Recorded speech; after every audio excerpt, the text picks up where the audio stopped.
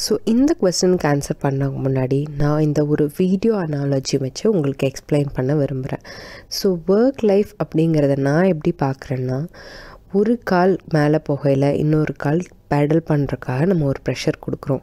So அதே மாதிரி நம்ம லைஃப்பில் சில டைம் நம்ம பர்சனல் லைஃப் ஓட விஷயங்களுக்கு கொஞ்சம் அதிக ப்ரியாரிட்டியும் அண்ட் சில ப்ராஜெக்ட்ஸ் ஆர் சில டெட்லைன்ஸ்க்காக நம்ம ஒர்க் லைஃப்க்கு கொஞ்சம் அதிக புஷ் கொடுக்க வேண்டியது இருக்கும். ஸோ இந்த மாதிரி ரெண்டுத்தையும் மாறி மாறி புஷ் பண்ணால் மட்டும்தான் நம்ம லைஃப் வந்து ஓரளவுக்கு பேலன்ஸில் போக முடியும். பட் அதை தவிர ஒரு ப்ராப்பராக ரெண்டு காலும் ஒரே பொசிஷனில் இருக்கும் அப்படின்னு நம்ம எக்ஸ்பெக்ட் பண்ணோன்னா அந்த மாதிரி ஒரு ஒர்க் லைஃப் பேலன்ஸ் நம்மளால் அட்டைன் பண்ணுறது கொஞ்சம் கஷ்டமான ஒரு விஷயம். நீங்கள் ஒரு நல்ல பேரண்ட்டாக நல்ல ஹஸ்பண்டாக நல்ல லீடராக இருக்கிறது சாத்தியம். ஆனால் எல்லா டைமும் எல்லா விஷயத்துலேயும் நல்லா இருக்கிறதுங்கிறது கொஞ்சம் கஷ்டமான விஷயம். ஸோ எப்படி உங்களுக்கு தெரியும் when you are going out of balance அப்படிங்கிற கொஷனுக்கு நீங்கள் இன்கேஸ் அன்கம்ப்ளீட்டடாக டாஸ்க்கை விடுறீங்கனாலோ ஆர் உங்கள் லஞ்சஸ்க்கோ இல்லை பிரேக்ஃபாஸ்ட்டோ ஸ்கிப் பண்ணுறீங்கனாலோ இல்லை உங்கள் ஃபேமிலி ஆக்டிவிட்டீஸை நீங்கள் மிஸ் பண்ணுறீங்கனாலோ இல்லை உங்களுக்கு எந்த ரெக்ரியேஷனும் இல்லாட்டி it is a sign that நீங்கள் வந்து உங்கள் பேலன்ஸை விட்டு ஸ்கிப் பண்ணுறீங்கன்னு ஸோ என்றைக்குமே எக்காரணத்து கொண்டும் உங்கள் அஃபீஷியல் ஒர்க்குக்காக உங்கள் பர்சனல் ஸ்பேஸையோ இல்லை உங்கள் ஹெல்த் ஆர் ஸ்லீப்பையோ இல்லை உங்கள் ஃபேமிலி ஆர் ரிலேஷன்ஷிப்பையோ இல்லை உங்களோட பர்சனல் ரெக்ரியேஷனையோ நீங்கள் வந்து காம்ப்ரமைஸ் பண்ணவே கூடாது. இப்போ இருக்க கரண்ட் சுச்சுவேஷன் பார்த்திங்கன்னா ஃபேமிலி டைம் அப்படிங்கிறதுங்கிறதே எல்லோரும் வீட்டில் சேர்ந்துருக்க டைம் அப்படிங்கிற மாதிரி ஆயிடுச்சு. பட் ஃபேமிலி டைம்னால் நம்ம எவ்வளோ குவாலிட்டியாக அந்த டைமை ஸ்பெண்ட் பண்ணியிருக்கோம் அப்படிங்கிறது தான். அண்ட் நிறைய பேர் பார்த்திங்கன்னா ஒரு ஆஃபீஸ்லேருந்து ஒரு ரெண்டு நாள் ஆஃப் எடுத்துக்கிறதுக்கு அவ்வளோ யோசிப்பாங்க. குழந்தைங்களுக்கு லீவ் இருக்க அன்னைக்கு ஆஃபீஸ்லேருந்து ஆஃப் எடுத்துகிட்டு குழந்தைங்க கூட இருக்கலாம் இருந்து நல்லா டைம் ஸ்பெண்ட் பண்ணலாம். அதுக்கே அவ்வளோ கில்ட்டியாக ஃபீல் பண்ணுறதுங்கிறது ஒரு பெரிய தப்பான விஷயம். எப்போ நம்ம ஒர்க்குக்கு நோ சொல்லணும்? அண்ட் எப்போ வந்து பர்சனல் லைஃப்பில் சில விஷயங்களுக்கு நோ சொல்லணும்? அப்படிங்கிற டிஸ்டிங்ஷன் நம்மளுக்கு தெரிஞ்சாலே நம்மளுக்கு பாதி ப்ராப்ளம் சால்வ் ஆகிடும்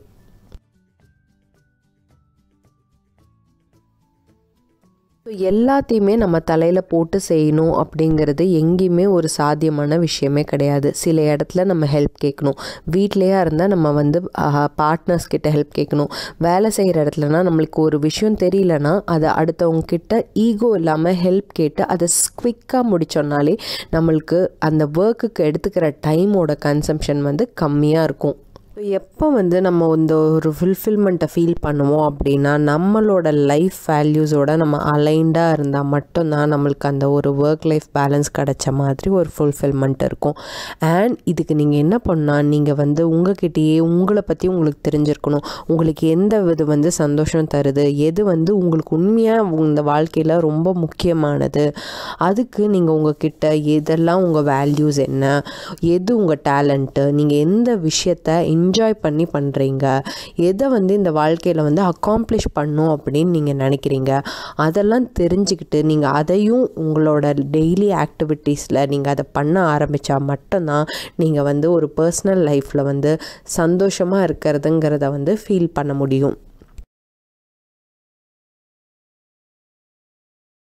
பண்ணியும் என்னால் டைம் தான் வந்து மேனேஜ் பண்ண முடியல அப்படின்னு நீங்கள் ஃபீல் பண்ணீங்கன்னா நீங்கள் என்ன ஸ்டெப்ஸ் ஃபாலோ பண்ணலான்னா ஃபஸ்ட்டு வந்து உங்களோட டே டு டே லைஃப்பை வந்து நீங்கள் ஸ்கெட்யூல் பண்ணிக்கணும். ஸோ நீங்கள் வந்து ஒரு பேப்பர் பென் எடுத்து நீங்கள் மார்னிங் டு நீங்கள் வந்து இதை நல்லா கிளாஸிஃபை பண்ணி என்ன பண்ணுறேன் மார்னிங் எந்திரிச்சதுலேருந்து நீங்கள் தூங்க போகிற வரைக்கும் எல்லாத்தையும் நீங்கள் பிரேக் டவுன் பண்ணி எழுதிக்கோங்க. ஸோ அதில் இப்போது நீங்கள் அந்த உங்களோட டே ரெகுலரான ஸ்கெட்யூல் தெரிஞ்சாதான் ஃபஸ்ட்டு நீங்கள் எதை வந்து டெலிகேட் பண்ண முடியும் அப்படிங்கிறதையோ இல்லை எதை வந்து அன்னெசரியாக எல் நீங்கள் பண்ணுறத எலிமினேட் பண்ண முடியும் அப்படிங்கிற சில விஷயத்த நம்மளுக்கு உங்களுக்கு தெரிய வரும். ஃபார் எக்ஸாம்பிள் நீங்கள் வந்து உங்களோட எந்த ட்ரெஸ்ஸு அடுத்த நாள் போடுறது அப்படின்னு யோசிக்கிறதுல தான் எனக்கு டைம் வேஸ்ட் ஆகுது அப்படின்னு நீங்கள் நினச்சிங்கன்னா நீங்கள் வந்து ஃபஸ்ட்டே இதுதான் போட போகிறோன்னு பிளான் பண்ணிட்டீங்கன்னா அந்த ஒரு டென் மினிட்ஸை உங்களால் எலிமினேட் பண்ண முடியும். ஆர் எனக்கு என்ன சமைக்கிறதுனே தெரியல.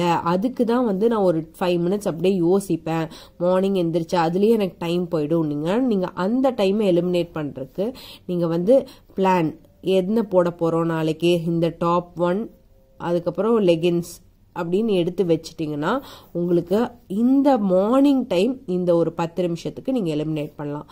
ஆர் எனக்கு என்ன ப குக் பண்ணணுன்னு நைட்டே ஃபார் எக்ஸாம்பிள் நைட்டே வந்து நீங்கள் சுண்டல் ப ஊற வச்சிட்டிங்கன்னா அடுத்த நாள் காலையில் இருந்துச்சு ஆட்டோமேட்டிக்காக நீங்கள் வந்து குக்கர் அதை வச்சு நீங்கள் சமைக்க ஆரம்பிச்சிருவீங்க. ஸோ நீங்கள் இந்த பிளானிங்கை வந்து ஃபஸ்ட்டே பண்ணிட்டீங்கனாலே உங்களுக்கு அந்த பிளானிங்க்கான டைம் வந்து அடுத்த நாள் வந்து தேவையப்படாது ஸோ நீங்கள் வந்து ஆல்ரெடி எந்த ஸ்டெப்பில் இருப்பீங்கன்னா எக்ஸிக்யூஷன் ஸ்டெப்பில் இருப்பீங்க. ஸோ ஒரு நாள் முன்னாடியே நீங்கள் பிளான் பண்ணிட்டீங்கன்னா நீங்கள் எந்திரிச்ச உடனே எக்ஸிக்யூட் பண்ண ஆரம்பிச்சிருவீங்க. ஸோ இந்த வகையில் நீங்கள் இந்த ஸ்கெட்யூல் தெரிஞ்சிருந்தா மட்டும்தான் இது கரெக்டான எப்படி இதை டெலிகேட் பண்ணலாம் எப்படி இதை வந்து எலிமினேட் பண்ணலாம். ஸோ எப்படி நீங்கள் டெலிகேட் பண்ணுவீங்க?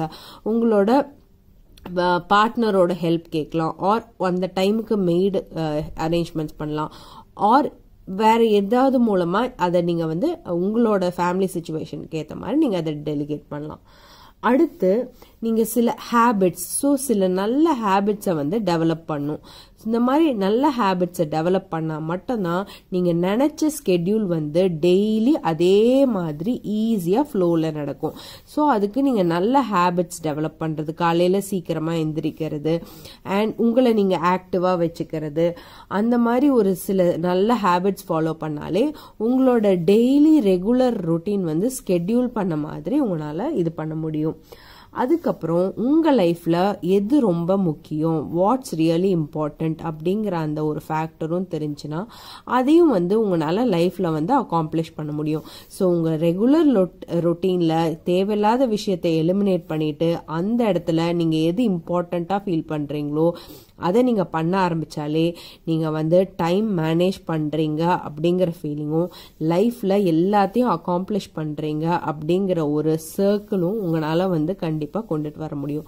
ஸோ உங்கள் லைஃப்பை நீங்கள் ஸ்கெட்யூல் பண்ணி அன்னெசரியான விஷயத்தை எலிமினேட் பண்ணிட்டு சிலதை டெலிகேட் பண்ணி நல்ல ஹேபிட்ஸை டெவலப் பண்ணிட்டு அந்த எதெல்லாம் நீங்கள் எலிமினேட் பண்ணீங்களோ அங்கெல்லாம் நீங்கள் என்ன அக்காம்ப்ளிஷ் பண்ணணும்னு நீங்கள் நினைக்கிறத நீங்கள் பண்ண ஆரம்பித்தாலே உங்கள் லைஃப் வந்து ரொம்ப ரொம்ப சந்தோஷமாக ஒரு ஹாப்பியான ஒரு விஷயமா இருக்கும்.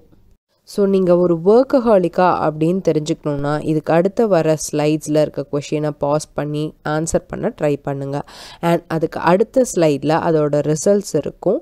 நீங்கள் அது கூட உங்களை எவால்வேட் பண்ணிக்கோங்க. இந்த வீடியோவை வந்து நான் என்னோடய ரெண்டு சப்ஸ்கிரைபர்ஸ்க்காக டெடிகேட் பண்ணுறேன் அண்ட் இன்னும் நீங்கள் என் சேனலுக்கு சப்ஸ்கிரைப் பண்ணலன்னா மறக்காமல் சப்ஸ்கிரைப் பண்ணுங்கள் அண்ட் பெல் ஐக்கனையும் கிளிக் பண்ணுங்கள் ஸோ இந்த மாதிரி கண்டென்ட்ஸ் உங்களுக்கு பிடிச்சிருந்தா கீழே கண்டிப்பாக தெரியப்படுத்துங்க. Until I post my next video take care and bye